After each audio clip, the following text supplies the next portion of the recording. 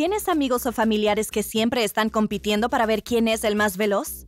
Nuestros amigos Bleepop y Mark están teniendo esa discusión con sus cohetes y nos pidieron ser el jurado de una carrera a su luna.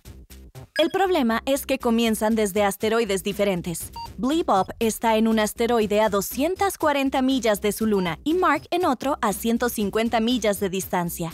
Pero no te preocupes, esto se resuelve con D es igual a VT, Sabremos quién ganará mediante la fórmula D es igual a VT.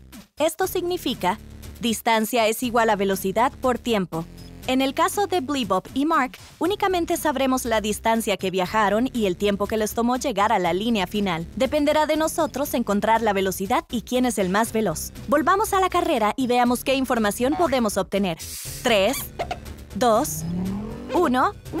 ¡Despegue! Los cohetes de Bleebop y Mark se abren camino a través de la galaxia hacia su luna, esquivando pesados meteoritos y alocadas naves espaciales. Luego de algunos acercamientos con un satélite ondulante, Mark llega primero en dos horas y Bleebop lo hace una hora después. Parece que Mark tiene el cohete más veloz, pero veamos los resultados con nuestra ecuación D es igual a VT. Creemos una tabla de cuatro columnas y tres filas. Usemos las letras D es igual a VT para recordar cómo llenarlo. Cada cohete tendrá información para la distancia, velocidad y tiempo. El cohete de Mark hizo 150 millas, no sabemos su velocidad, y tardó dos horas.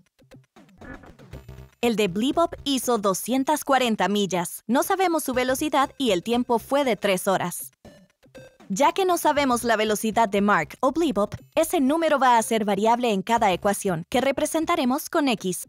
Encontremos el valor de la variable con la ecuación.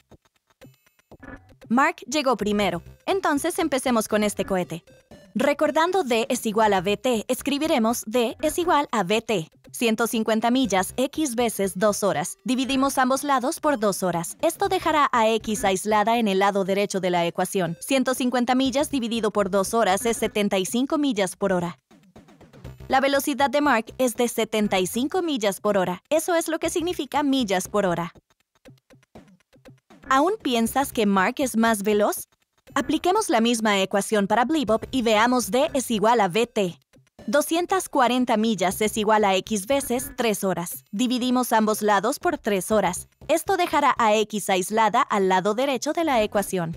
240 millas dividido por 3 horas es 80 millas en una hora. La velocidad de Bleebop es de 80 millas por hora. Entonces Bleebop tenía el cohete más veloz. Mark parece enfadado, pero con los alienígenas nunca se sabe. Gracias a D es igual a VT, ahora sabes cómo calcular distancia, velocidad y tiempo. ¿En qué situaciones puedes usar la fórmula? Ni siquiera necesitas estar viendo una carrera espacial. Siempre que cuentes con dos datos para la fórmula D es igual a VT, podrás calcular cualquier objeto en movimiento. Ahora, la próxima vez que veas un auto, podrás enseñar a tus amigos exactamente cuándo llegarás, qué tan rápido vas o la distancia que viajarás. Es tan simple como D es igual a VT. Suscríbete a este canal y no pierdas nunca la oportunidad de aprender algo nuevo.